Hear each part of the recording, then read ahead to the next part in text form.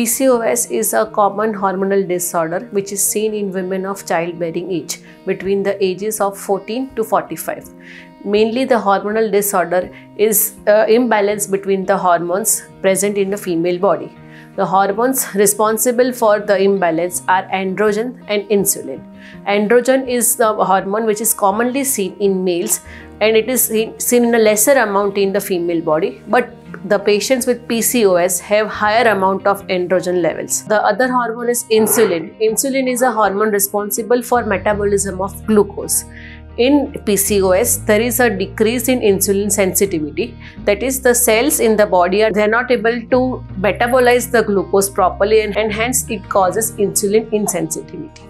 The cause of PCOS is not fully understood, but the research says that it is related to genetic as well as environmental factors. The prevalence of PCOS in India varies from between 3.7% to 20%. Uh, the first symptom is irregular periods or missed periods. The patients typically have irregular menstrual cycle and sometimes they also have a missed period that is they skip periods in between. This is because of uh, hormonal imbalance which causes delayed or absence of ovulation which in turn causes missing of the periods and irregular period. The next symptoms are symptoms of excessive androgen in the body. As we discussed earlier, in PCOS, androgen levels are higher in women, that is the uh, presence of male sexual hormone. So, due to the presence of excessive androgens, the symptoms uh, that may occur are uh, baldness, that is male pattern of baldness, that is thinning of hair and presence of uh, spots on the skin. Uh, apart from their excessive acne, hirsutism that is presence of facial hair and increased hair over chest, back and all over the body. The third symptom is uh, presence of dark black patches over the skin of elbow, over the neck and over the back. The third symptom is weight gain. About almost half of the patients of PCOS have excessive weight gain and they find the gained weight difficult to lose. Next is infertility. As we know now that PCOS has hormonal imbalance and this can cause anovulation that is absence of ovulation or delayed ovulation this can cause infertility because there is inability of the mature egg to release from the ovary pcos is one of the leading cause of infertility nowadays fatigue and mood changes. These are less commonly explored and less understood symptoms, but patients with PCOS often experience increased fatigue. Due to that, there is decrease in sleep, and this again causes fatigue.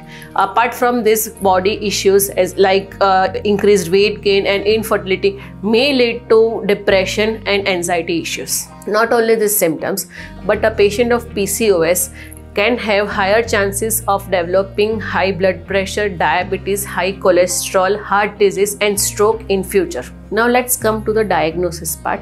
PCOS can be diagnosed by a variety of tests such as blood levels and uh, ultrasound. Now let's come to the management part. Basically, there is no cure for PCOS, but there are treatment options available which can help to decrease the symptoms and help in uh, live, uh, making the patient live better.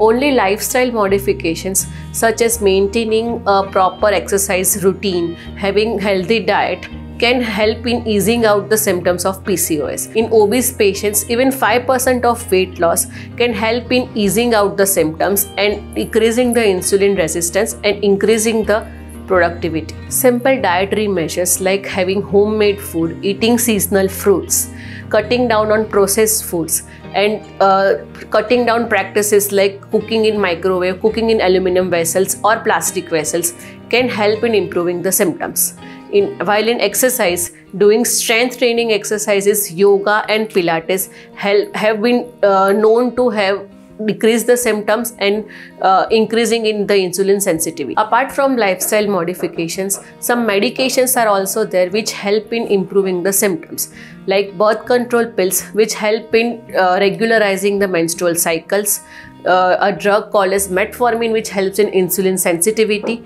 as well as myo-inositol which helps in the symptoms of PCOS. In women with infertility uh, with PCOS, There are treatment options available uh, along with lifestyle modifications such as ovulation induction and artificial reproduction technology. The bottom line is that a combination of both lifestyle modification and medications play an important role in PCOS management.